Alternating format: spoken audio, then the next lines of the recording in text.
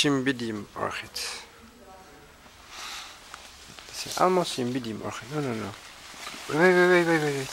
You, you, complete? Yes. This is beautiful.